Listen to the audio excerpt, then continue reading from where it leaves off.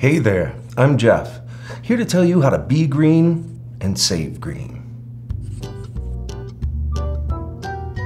As the global energy crisis continues to escalate, finding a way to reduce their footprint has become a priority for business and property owners.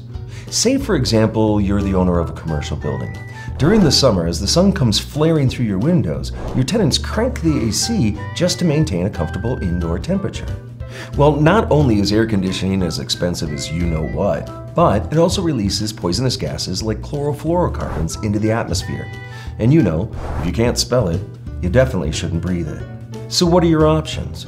Draw the blinds, board up the windows, work in the dark all day like Dracula? No, no, and no. The clear solution, pun intended, is window film. One of window film's many benefits is that it can block up to 80% of the sun's heat that would have otherwise been streaming freely through your windows. In fact, many of our customers have been able to make a return on their investment in just a couple years through energy savings alone. That's how you be green and save green.